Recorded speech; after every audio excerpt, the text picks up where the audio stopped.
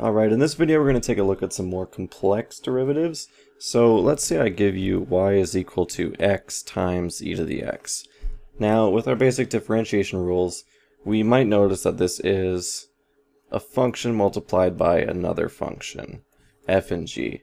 And we don't necessarily know how to deal with derivatives that have multiplying functions. So this is where the product rule comes into place. There is a formal proof of this, I would suggest finding it online in text form. I'm not going to go through it. It's kind of irrelevant to doing the questions in Calculus 1. You might need it in an Intro to Analysis course, but this is not the place for that.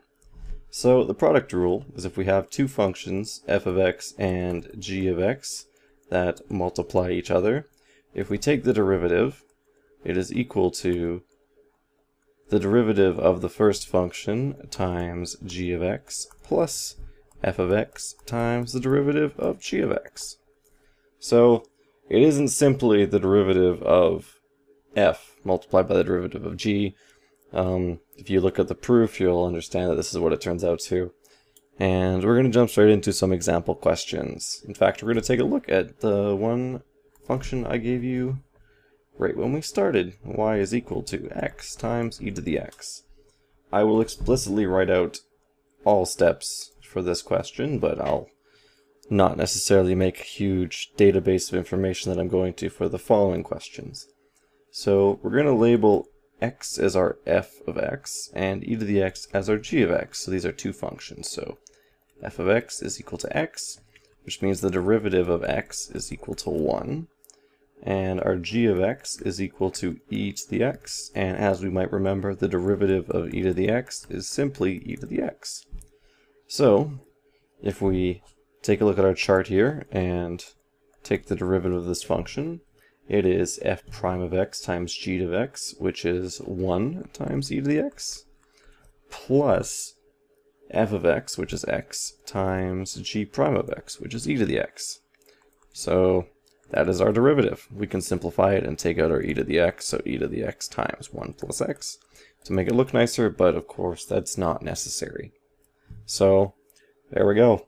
That is the product rule in a nutshell. Let's do a couple more problems just for practice.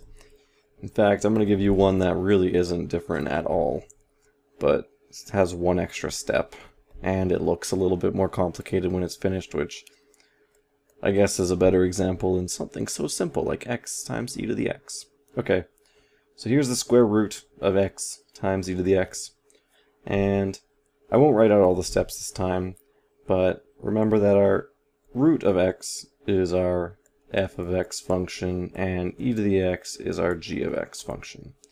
So when we take the derivative, y prime, is equal to the derivative of f, which is, well, let's rewrite this question as x to the 1 half times e to the x.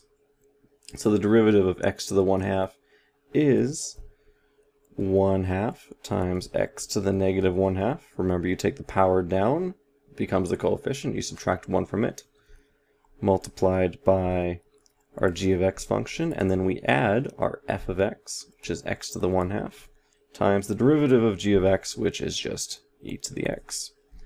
And we can factor out an e to the x again and get um, 1 over 2 root x plus root x. And this looks a little bit nicer shows that you know what you're doing with uh, your powers of fractions, but that's about it.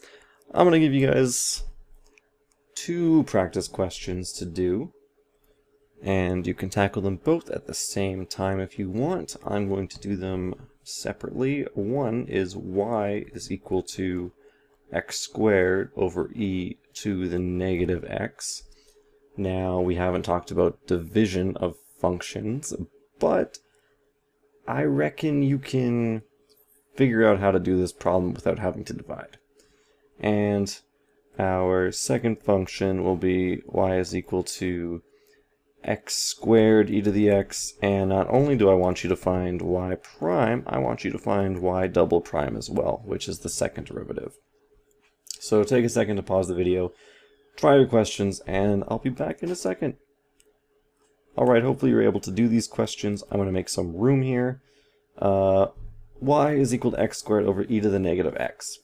this is the same thing as x squared times e to the x.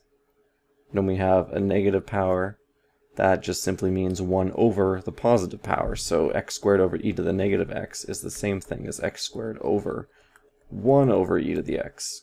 And you can uh, divide and multiply to get x squared times e to the x. So when we take the derivative of this, we will get the derivative of f of x, which is 2x times g of x, which is e to the x, plus our first function, x squared, times the derivative of e to the x, which is e to the x. And again, if we want, we can factor out some stuff here, so we get 2 plus x times x times e to the x. Again, you don't have to factor this stuff out, it just looks nicer. Okay, second function here. Wow, what do we know? What do we know? We already know this function is x e to the x times 2 plus x. We already figured that out. But um, if we do a derivative, a second derivative, in this form, you're going to have to do multiple product rules. You're going to have to do a product rule on top of a product rule, and it's going to be a little bit complicated. So instead, we're going to rewrite this in the form above, which is 2x e to the x plus x squared e to the x. Now we already know the derivative of x squared e to the x, because that was the first part of the question. So we'll just write it down as 2x e to the x plus x squared e to the x.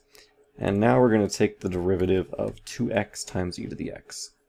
So the derivative of 2x is 2 times e to the x plus 2x times the derivative of e to the x, which is e to the x. And we can now simplify this further, and this will be x squared e to the x I do not seem to be able to write down stuff right here. Ah, the eraser button was stuck, of course.